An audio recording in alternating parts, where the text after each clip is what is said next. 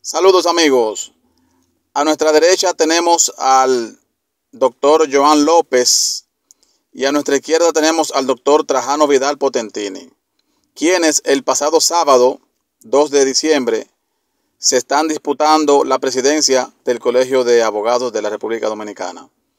Todos ya somos eco de que existe un impasse, que uno se declara ganador y el otro también. Entonces, la Comisión Electoral no se ha pronunciado en cuanto al asunto.